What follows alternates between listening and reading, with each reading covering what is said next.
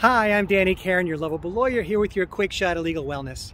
Well, today I'm at spring training, or what should be spring training, but it's not happening because of the Major League Baseball lockout.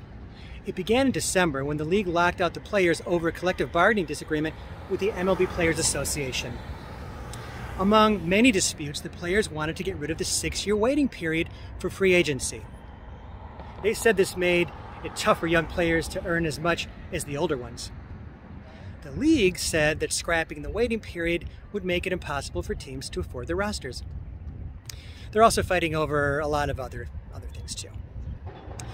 Now it's hard to say how long this could last, but the league has already canceled opening day and the first two series.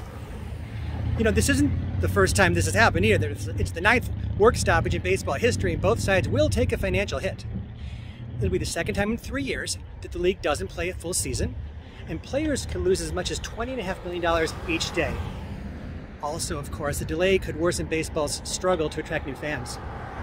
Sadly, both sides are still playing hardball, but before long, hopefully they'll step up to the plate. If you'd like to learn more about legal wellness, please join me at yourlovablelawyer.com. Till next time, I'm Danny Karon, your lovable lawyer.